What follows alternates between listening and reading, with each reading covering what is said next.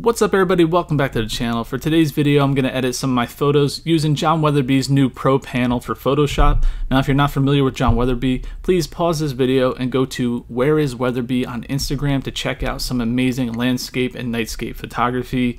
Now, full disclosure, I ran into John earlier this year in California at ancient bristlecone pine forest when we were shooting the Milky Way, and he was telling me about this pro panel that he was releasing soon, and he graciously gave me a free copy to test out and share with you guys. The panel has a bunch of great features, so I apologize in advance if this overview is kind of long, and if there's anything that I missed, go to thepropanel.com where John explains everything in greater detail. So with that out of the way, let's jump onto the computer and get right into it. Alright, so here we are in Photoshop and the first thing I need to do is open up the Pro Panel by going to Window, Extensions, Pro Panel.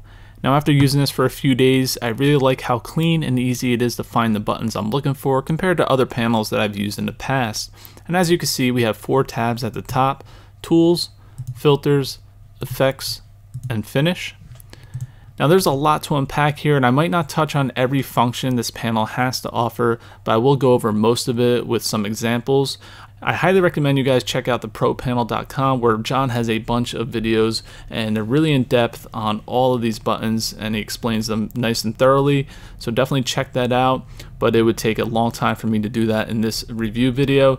So I'm going to edit a couple of images and explain the buttons as we go along and that way you guys get to see the capabilities of the Pro Panel. So kicking this off, I have a nice sunset here from Oregon. Now this shot was underexposed for the sunburst right here and then I have another shot that is overexposed in the sky but the foreground is nicely lit and we're going to create a luminosity mask for this image.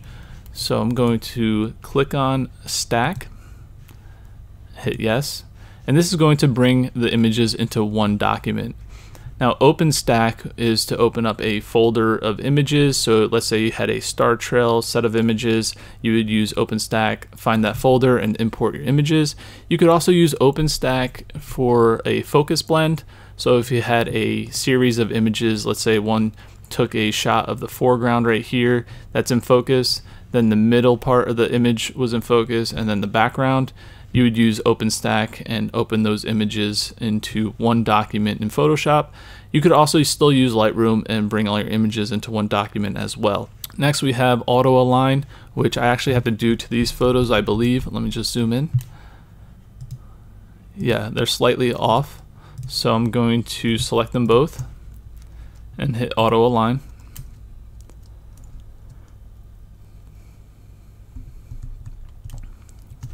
And let me just double check them.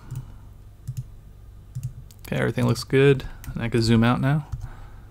Focus blend is what I was talking about earlier when you have a set of images typically taken on a tripod and you focused on different focal planes and then you combine those images so you have a nice sharp image from front to back. Then we have our stack button. This is what I used earlier to bring one image into another Photoshop document. Uh, then we have camera raw which we're actually going to use on this bottom photo right here. So let's select that. And I just want to raise my shadows for this photo, which is going to make life a little bit easier when I go to blend them together with the luminosity mask.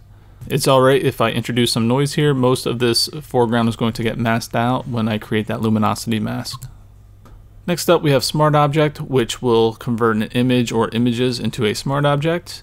If I hold down the Shift key, there's a secondary button right here, which will rasterize a layer. Going on to the last button in this row, we have fill width. So let me grab the lasso tool and create a circle and click the fill width button to fill it with a color. I could also use a drop down menu and fill it with a pattern or use content aware if I want to clone out something. There is a shortcut. If you press the shift key, it'll say content. And if you click that, it'll go straight to content aware. We're just going to cancel that. There's a button that turns red whenever you have a selection like this. This is the re and deselect button. This lets you know that there's an active selection, which is awesome. And uh, we could just click it to get rid of it, or we can bring it back. Also, if you hit the shift button, you get a secondary function right here for marching ants. This will turn them off, or you could turn them back on. Moving on, we have the group button. So if I select two images or more and hit group, it'll make a folder and group them together. After that, we have invert, which will simply invert the image. Oops, I'm on the bottom layer. And we could press it again to undo that. Let me grab the lasso tool, just gonna make another circle. So if we have a selection and we press the shift button, we could actually invert the selection as well.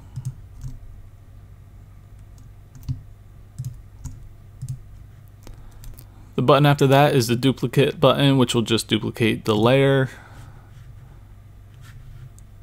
like so.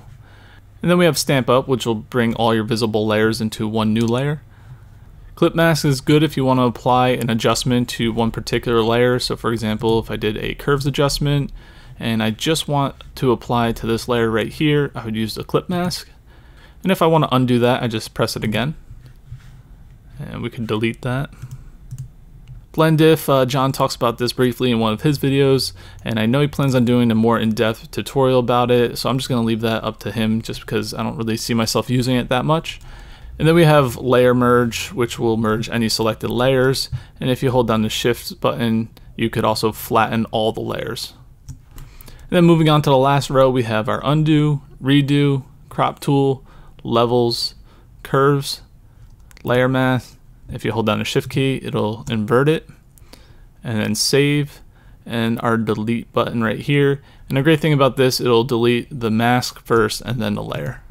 Alright, so now that that's out of the way, let's jump back up top to Luminosity Mask and start having some fun with the Pro Panel. I'm going to select my dark. And I want a nice white foreground, which is going to conceal, and the black is going to reveal the uh, sunset that is beneath this particular layer. So I'm actually going to just increase this a little bit with the plus and minus button right here. I just want to mask out most of the foreground here. I could also use the refine button as well, but I'm just going to do this really quickly and hit apply mask. And there we have it. We recovered the highlights in this image. So let me turn off the mask so you can see what I'm talking about. So that's the before, blown out sky, and it's a little hot over here on the right side. And then here's the after we basically just masked out a lot of the foreground and only allowed most of the properly exposed highlights from this photo shine through. And once you're satisfied with that, I like to use the stamp up button. And that just merges those visible layers together into one new layer. And now I can continue working on this image some more. So there's this color mask, which is great, especially if you have flowers and you want to adjust just the colors of those flowers and nothing else. Um, in this case, uh, let's mess around with the sun. So let me try the red or the yellow. Let's go with reds first. Alright, so grab a good chunk of that sun and I'm going to go to add an adjustment. Let's go to hue and saturation. And now I could affect the hue and saturation of the sunset and nothing else. So that's a really cool way to mask out specific areas of your image and make some fine-tune adjustments. I'm going to leave it as is, but I just want to show you guys that option as well. So I'm just going to delete that. And we're going to jump over to filters. Alright, so in the filter panel we have a bunch of actions that will take your image to the next level. Um, we also have this correction section which will help clean up any imperfections in your photo. And then down here we have the same set of buttons that you saw on the Tools tab. Uh, it's also on the Effects tab as well. And that's just because this group of buttons are the most commonly used buttons throughout this whole process. So um, John was smart and incorporated them on these three tabs before we get to the finishing tab. Okay, so let's start off with the Orton Sharp, which is basically the Orton effect with the high pass filter. And this is going to give us that dreamy look. So it's set to 60 pixels. We could always make it more or less depending on your preference, but we'll leave it what it's set to. And then here you just want to adjust your you know highlights, midtones, and shadows if need be. hit OK. And then this is the high pass, which I'm just going to leave set to what it is. Alright, so we have that nice dreamy effect, and it's not too much. I like that it's not really overpowering. So here's the before, and then here's the after. And if you want the effect to be a little stronger, you could always just duplicate this layer. And if it's too strong, you could always reduce the opacity of the second layer. So it's totally up to you. You can play around with that. I'm going to delete one of them and then we'll just continue on to warm glow. Now this is definitely a strong effect at first, so we have to lower the opacity. I'm going to put it around 25%. And it fades the image a little bit, which I kind of like. Uh, you could drop down the folder and you could also change the hue a little bit. And you could increase or decrease the saturation as well as the lightness. And then if you double click on the radial filter, we can move this around so you can position it wherever your light source is. Uh, for me, luckily this is right in the middle anyway, so I'm good to go. So I'm gonna hit OK. All right, next up we have Smart Sharp, which I'm not going to apply any more sharpening to this. Uh, the Orton effect, which we already did, but this doesn't have that high pass filter. We have the Lux effect, which is similar to, um, I guess, the Lux effect that's in Instagram. John was saying. So let's uh, let's try that out. Alright, so it looks like it just kind of increased the contrast throughout the whole image, which looks really nice. Uh, I'm not going to use it on this particular image though. Next up is the flare button.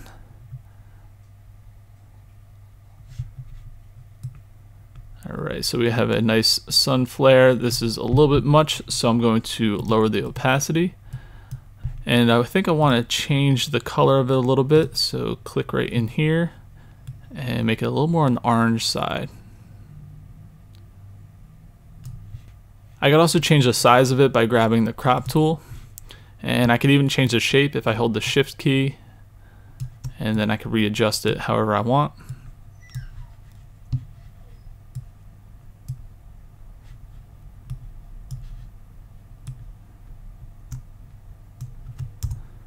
So right like that, you know what, let me increase the opacity a little bit. So that looks pretty nice right there. So here's the before, here's the after.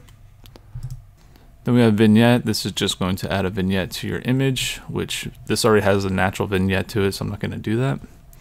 Uh, enhance foliage and fall foliage. I'm going to use those buttons on a different photo for you guys. Custom vignettes, pretty cool. Just take your lasso tool and uh, let's take a section that I want to keep brighter, like this area right here and then hit custom vignette.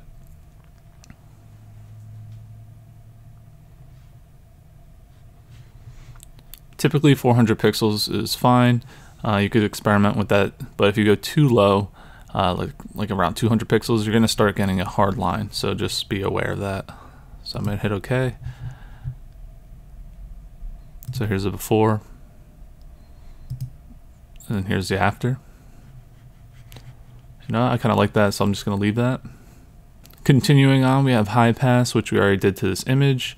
Then there's structure. This is similar to the structure that you see in Lightroom, or you could also use in Camera Raw. Um, then we have vivid. So vivid's just going to add a nice little pop to your image. So here's the before, here's the after. Let me turn that off and do vivid 2. And Vivid 2 pretty much does the same thing. It's a nice extra pop to your image, but it's going to be a stronger effect. And again, if it's too strong, you just lower the opacity. So I'm actually going to delete Vivid 2. And you know what? I'll keep Vivid 1. And I'm going to stamp up my image here. And then in the last row for the filter panel, we have black and white contrast, which is going to be a high contrast black and white. So I'll just click that for you guys. That looks really nice. Um, let me just get rid of it and go to black and white normal. And this is going to allow you to make your own adjustments to your black and white image. So you could just move these sliders around and dial it in how you would like. And then after that we have black and white matte. So this gives it that nice faded black and white look. Um, it's definitely very artsy and I could see myself using this a lot in the future. Alright, so for this photo though, I'm going to delete that. And we're going to jump down to correction. So in here we have the remove chromatic aberrations. Now normally I'll be doing this in Lightroom first, but if there's any troublesome spots, I could definitely come in here and then fix those areas that I can't really fix in Lightroom.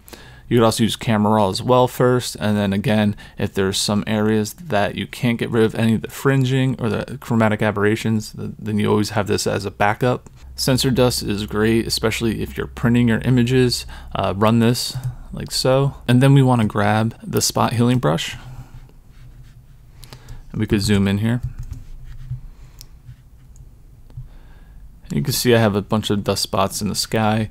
So you want to click on the layer below the sensor dust layer and then just start cloning out the dust spots. Now you're not going to see the sensor dust layer change in real time, but once you finish doing this and you think you got everything, then delete the sensor dust layer and then run it one more time. And anything you missed, just go back and continue removing those uh, dust spots. But this is really great to have before you put your prints up for sale or print them yourself. Alright, so I'm going to delete that. Um, next up we have content fill. Again, this is just use your lasso tool, um, select something that you want to get rid of, and go to content fill. And this is going to open up the content aware fill dialog box, and you can really uh, make sure that you're filling this accurately and properly. Uh, I'm not going to do that with this particular image, but I just want to show you what will happen when you use this one. Then we have a noise reduction button, which I don't really need on this particular photo. Uh, darken highlights. If your highlights are too bright, you could press this button and it's going to dim them down a little bit.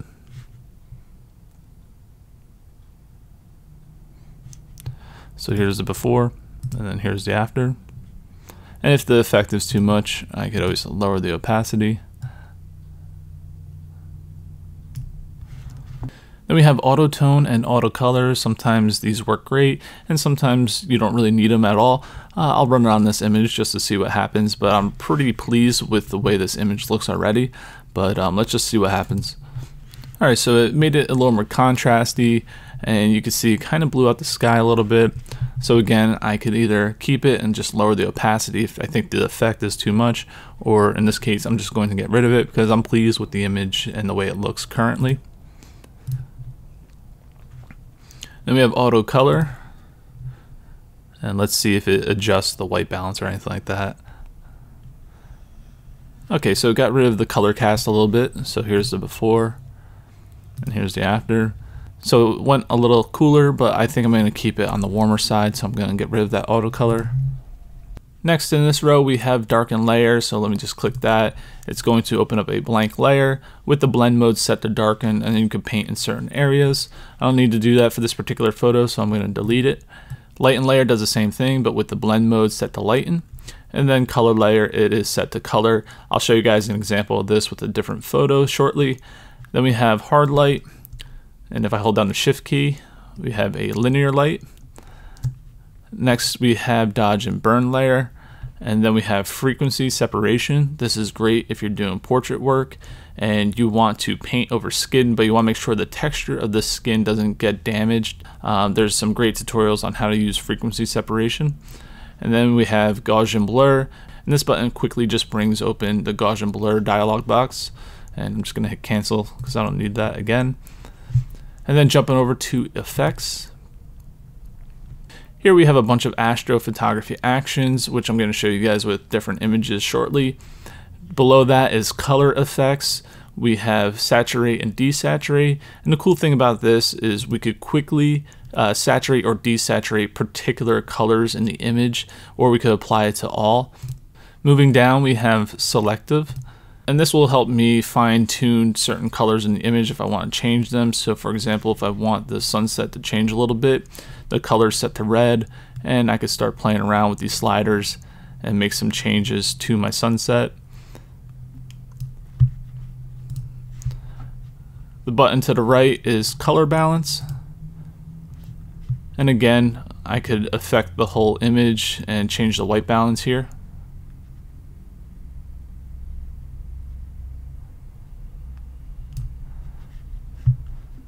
Then we have gradient map. I'm not going to do anything with that for this image. Uh, photo filter. This will open up your photo filters that you could also apply to your image. So by default it goes to a warming filter, but if you click on the drop down box, you have cooling filters and other colors in here as well that you could apply to your image. Then we have hue and saturation. This will open up the hue and saturation dialog box. And again, we could just move the slider around and make some color adjustments to our overall image. And lastly, we have a reduced cast option. So let me click this button and you're going to get a curves layer adjustment and an eyedropper tool. So if you click on certain areas of this image, particularly you want to try and find like a 85% gray. And this you could use to adjust the color cast of your image. And then down here we have user actions, so you could import your own actions and use them on your photos as well. And you could apply a secondary function to each of these buttons, so you could have a total of 10 actions that are in these buttons. And then jumping over to finishing. And here we could resize the image, change it to sRGB, RGB, or Pro Photo, choose our saving destination, like the desktop, uh, what type of file you want to save it as, JPEG, PNG, TIFF, PSD, or PSB. Uh, you could also set your size and your quality.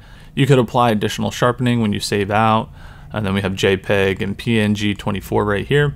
And you could also import your own watermark. So if I click right here, it'll open up a folder and I could find my watermark, hit open and I could choose where I want to place it on the image. So right now I put it right here in the bottom. And I could also adjust the scale and the opacity. And it's okay if you don't have these numbers perfect. You could fine tune your watermark once it's applied. So we'll apply it. And then there's the watermark and if it's too low, I could always move it around. I could adjust the opacity right here on this side.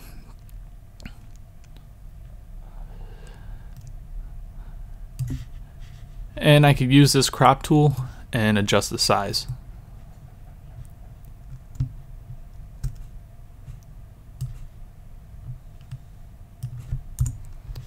Alright, so before I get into the astrophotography stuff, I almost forgot. I want to show you guys a fall image that I shot here in uh, Watkins Glen.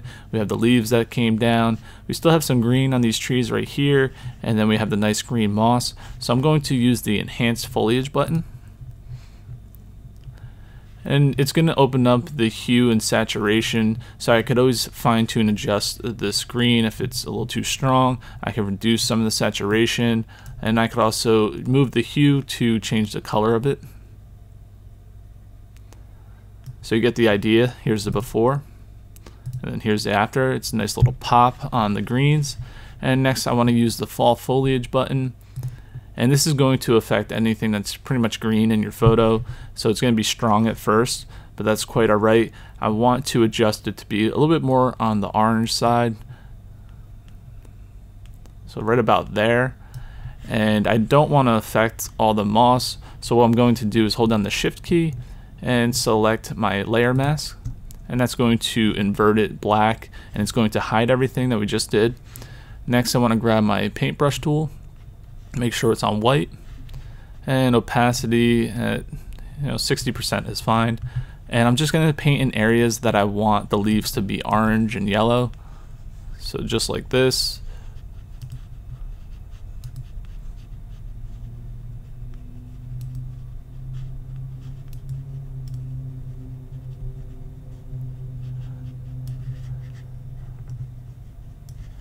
Alright, so you saw how quick and easy it is to selectively change specific trees in an image. Um, I've used other fall foliage programs in the past which do a great job, but it requires more steps to kind of selectively change certain areas of a photo um, and this makes life a lot easier. So I just want to show you guys that really quick. Now let's jump over to the astrophotography Alright, so here we are in the astrophotography portion of the Pro panel, and the first button you see is a stack noise reduce. This is for your foreground only. It will not separate out the sky and then stack the foreground. So you have to do your foreground separate and you'll have to do your sky separately and then blend them together. Um, if you want something that does both, check out you know Sequator or Starry Landscape Stacker. So I don't need to stack anything in this foreground. This is just a tracked Milky Way sky and I have four shots. So I'm going to use the align and stack sky button. And first I need to crop out the foreground, so hit OK. And then enter. Alright, so it created a new layer with the stacked images that cleaned up the Milky Way quite nicely. And I did have to downscale this just you know to speed up the video. Uh, next, I want to reduce the light pollution that's here at the bottom. So click on the, this button and grab your paintbrush. Make sure it's set to white and I just have to adjust the brush size and my opacity. I want to keep this relatively low. Let's start around 15% you want to be careful not to hit the core when doing this because it will desaturate some of the color alright so here's the before you see all the orange and here's the after and we neutralize that. And if I went a little too much, I could dial this opacity down a little bit. Alright, I'm going to stamp this up. And the day to night filter, I'll show you that with a different example. Next, let's jump to Enhance Milky Way. And here's the before and after. So it makes it pop and if I hold down the shift key there's a core contrast button behind that oh whoops I have to stamp up first alright hold down shift and go to core contrast and you'll have to adjust the unsharp mask I'm just gonna leave it as is again here's the before and here's the after so it makes it pop a little bit more and you can see that it affected a little bit of the highlights right here to really enhance those. Uh, the next button we have is Aurora Pop. I'll show you that in a different image. And then we could reduce the stars. So let me stamp up again and go to reduce stars. And this is great for people that are using a star tracker and they want to see more of the dust clouds in the Milky Way. So here's the before and here's the after. So tone down the stars a little bit and let me zoom in, I'll show you what Sharp Star does. Hit OK. And what's great is John isolates just the stars to sharpen them, but it doesn't affect the rest of the image, so you're not reintroducing any noise to your Milky Way, and you're only sharpening the stars. So here's the before and after. And then we have a button here called Star Glow, so I'll hit that. And basically you could use this to enhance some of these brighter stars. So let's zoom in here and grab my paintbrush tool. And I have to lower this to around 9 pixels. Make sure it's on white. And I'm going to put the opacity around 25%. And hit it once. And then go to your bracket key and increase the size of the brush a little bit and then hit it again. And one more time. And we could go to other stars and do this as well.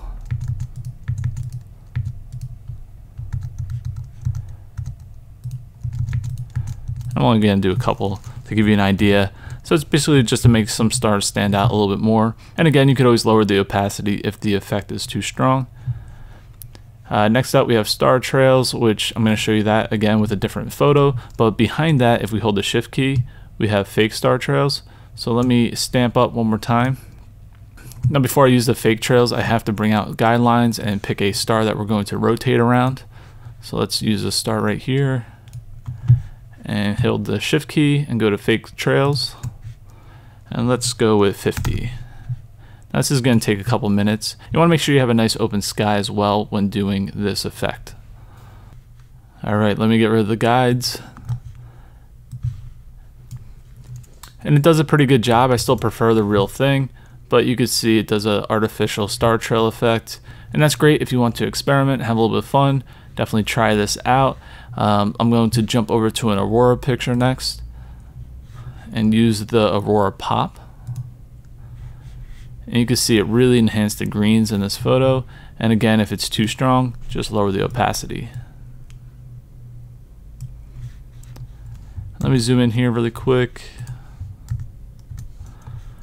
I want to show you guys under the filters tab, we have the color layer. And I'm going to grab the eyedropper tool and just select an area that's a little more neutral. You can see there's a lot of orange and that's from light pollution in this area. And go back here with my paintbrush tool and make sure the opacity is relatively low, around 10%. And I'm just going to start painting out this orange. It's very subtle.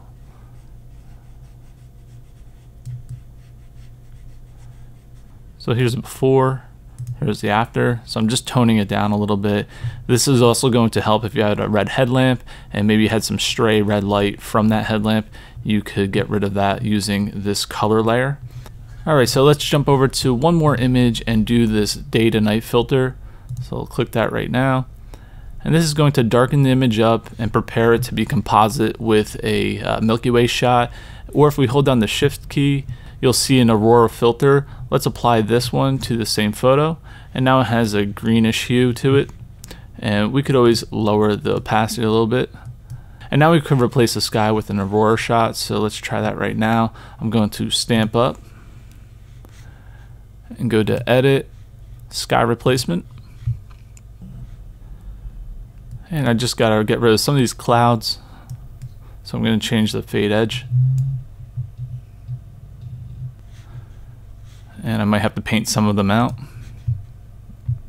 Now I'm just doing this really quickly, but you get the idea. We just converted a day image into a night shot pretty easily, um, and it looks pretty cool. Now obviously compositing isn't for everybody. I'm just showing you guys the capabilities of this astrophotography panel. And the last thing I want to show you guys is star trails. Alright, so jumping to the Tools tab, I'm going to go to OpenStack, hit Browse, and I'm already in the folder that I need for my star trails and I'm going to select around 50 of them if I do more than that it might take a while. So let's go right here. Yeah, this is good 45 hit OK and it's going to open all the star trail images into one Photoshop document. Alright, so all the images have imported into Photoshop and I'm going to effects and then I'm going to hit star trails and then combined all the star trail images into one new layer. Now this is a vortex star trail, which I have a tutorial on how to do that. And just be aware that depending on the number of photos that you bring into Photoshop and the size of those photos is going to dictate how long it takes for it to run that action and combine all these star trails together. Also, I was talking to John about additional buttons that could fade out the tail ends of the star trails so they get that comet effect. And uh, he's going to be working on that hopefully in an update in the future. So keep your eyes out for that. But again, you could also create an action and include it down here in the user actions if you already have something to do that. Alright guys, so that's going to wrap this video up. I know it was long, but there's so much to go through with the Pro panel. The fact that this was designed by a landscape and nightscape photographer really shows with the features and functions that John chose to incorporate with the Pro panel. All the creative tools we need are just one click away versus the countless of steps it would normally take to acquire the same results. This is going to be extremely helpful for those that want to save time or are just not that Photoshop savvy. So if you want to add this to your Photoshop, definitely check out thepropanel.com. And I believe John is running a discount right now for the holidays, so take advantage of that while you can. Hopefully this helps you guys out. Thanks again to John for letting me test out the Pro Panel. Take care. Bye-bye.